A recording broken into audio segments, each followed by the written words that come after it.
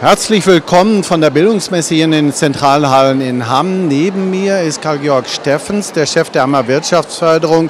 Wir hören in diesen Tagen im Rahmen der Bildungsmesse durch Vorträge von Zukunftsforschern, dass sozusagen kein Stein mehr auf dem anderen bleiben wird in den Berufen, dass sich jeder Beruf in der Zukunft massiv verändern wird. Ist das die Herausforderung, die die Wirtschaft sich gegenüber sieht und mit der Wirtschaft auch wir alle? Das ist korrekt. Also wir haben Megatrends und hier, was, Sie ansprechen, der wichtigste Megatrend ist die Digitalisierung.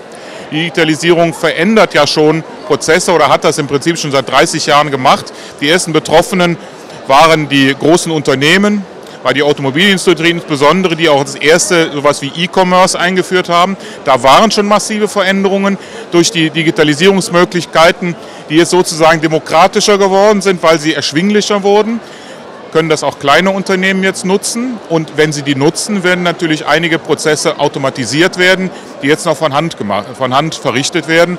Und das sind Herausforderungen, denen wir uns stellen werden müssen. Ja.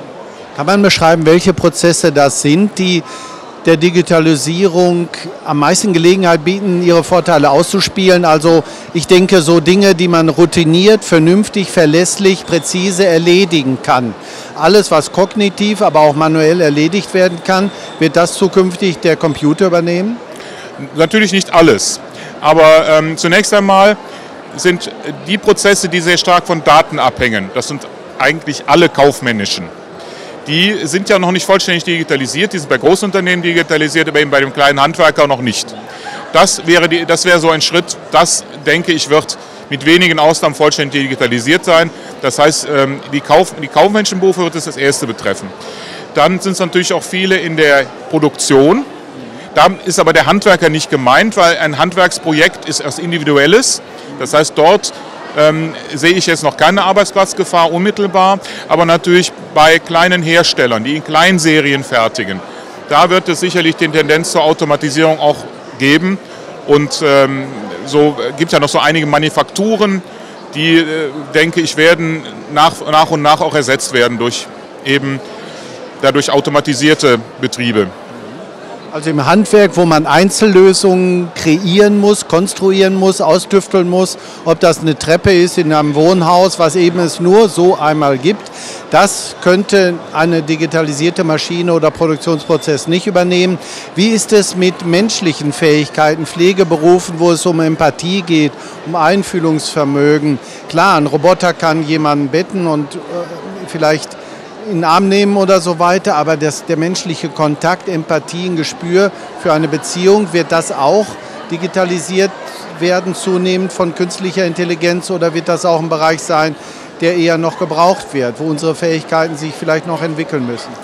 Also zunächst einmal denke ich, gibt es eine gute Nachricht, dass diese Fähigkeiten ja nicht ersetzbar sind durch künstliche Intelligenz oder nicht so gut ersetzbar sind. Diese, deshalb werden die Berufe, die mit Menschen zu tun haben, auch noch sehr stabil bleiben.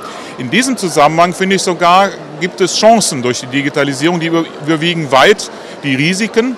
Äh, beispielsweise, wenn wir an Telemedizin denken, dass also praktisch Sprechstunden jetzt ins Internet verlagert werden, wo man sich etwa über Videotechnologien dann austauscht mit dem Arzt und dann eben auch Daten übertragen kann. Da ist dann ein Vorteil für nicht mobile Patientinnen und Patienten, denn eben auch schnell ein Arztgespräch zu bekommen mit wenig Aufwand wo dann Kosten gespart würden, die nicht zulasten des Patienten wären. Da gibt es also Möglichkeiten, durch Technologie das besser zu machen.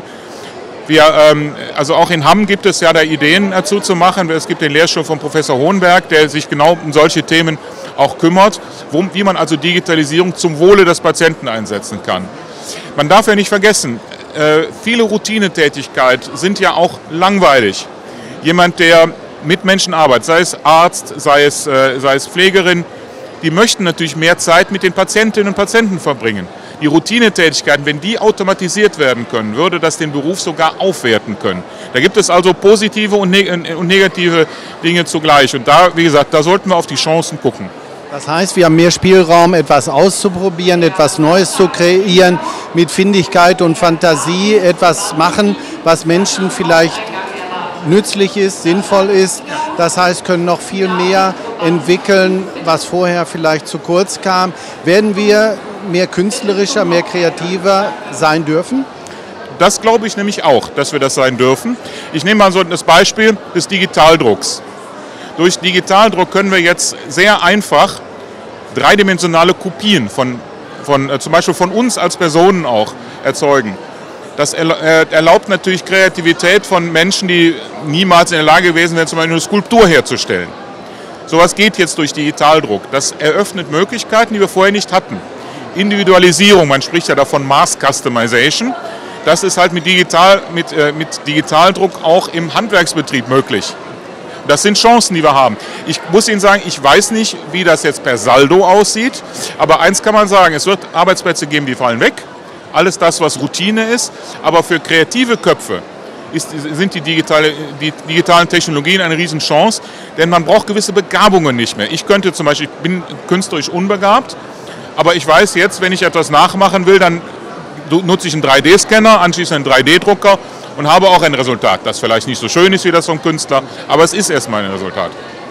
Jetzt eine ganz direkte Frage. Werden sich Schulen möglicherweise ändern müssen, wenn es weniger darum geht, etwas zuverlässig, vernünftig, effektiv, professionell zu erledigen, sondern mehr Projekte zu managen, sich etwas einfallen zu lassen, den Mut zu haben, was auszuprobieren, was in der Schule vielleicht bisher, weil etwas gepaukt wurde, instruiert wurde, reproduziert wurde, zu kurz kam, wird auch Schule projektorientierter sein müssen, mehr Freiräume den Jugendlichen schenken und einladen, zu gestalten, mehr zu gestalten als vernünftig schrittweise was abzuarbeiten. Wird Schule sich möglicherweise ändern müssen?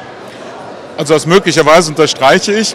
Ich glaube, dass sich die berufliche Bildung darauf einstellen muss. Und das tut sie ja auch. Deshalb bin ich mal vorsichtig mit Schule, weil Schule ja auch allgemeinbildende Aspekte hat. Da möchte ich das auch lieber die, äh, den Zuständigen überlassen. Aber an den Hochschulen passiert sowas schon. Es gibt andere Lehrmodelle. Die SRH-Hochschule hier in Hamm beispielsweise hat ein anderes Lehrmodell schon entwickelt. Äh, die machen das projektorientiert. Und es gibt ja auch Schulen, die das machen. Möglicherweise werden sich Berufsschulen darauf einstellen müssen es wird Veränderungen geben. Ich bin nur, wie gesagt, vorsichtig. Wir haben ja ein, ein bewährtes Schulsystem, was, äh, was auch schon viele Krisen überstanden hat. Aber tatsächlich muss man sich darauf einlassen, natürlich, auf die neuen Technologien. Das heißt, Fächer wie Informatik, da, bin ich, da lege ich mich mal aus dem Fenster, sollte eigentlich Pflichtfach werden.